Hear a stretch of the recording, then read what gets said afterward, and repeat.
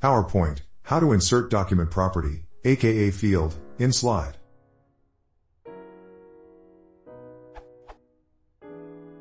How can I insert a document property, for example the author's name, in a slide in PowerPoint 2007?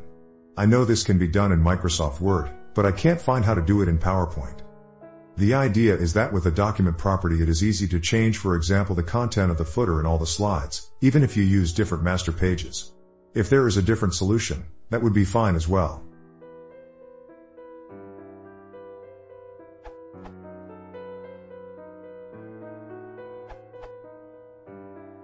While Word can do this, PowerPoint can't.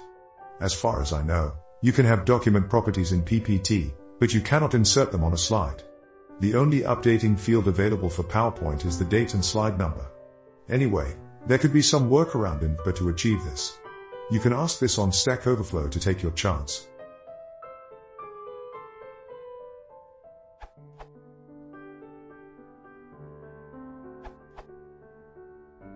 Just wrote a subroutine to put named properties into tag text objects on all slides. To put a file property onto slides, create a text box to hold the string. In the property slash alt text put the property name into square brackets. Then execute the macro update properties. i.e., title, would allow the document title to be updated on multiple. Two special tags have been written. Copyright, would insert a copyright string, i.e. copyright 1998 to 2013 P. Boothroyd, niche uskimian.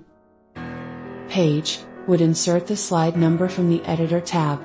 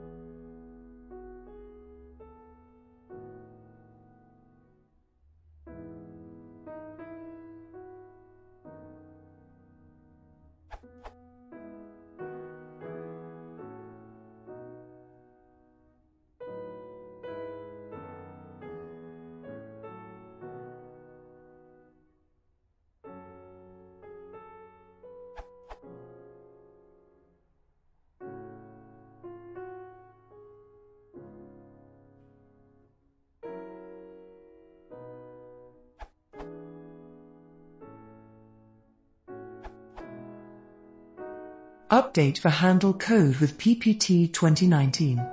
I changed the for next routine a little bit. The cause is that it easier for a front-end user to change the alternative text by right mouse button.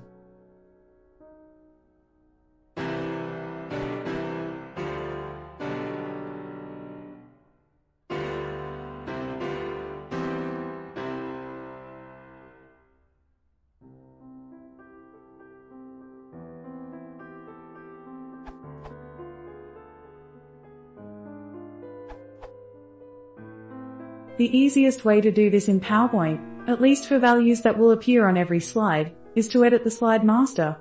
Put the author name there. A possible reason that Word lets you, and none of the others do, is that the various teams at Microsoft rarely talk to each other.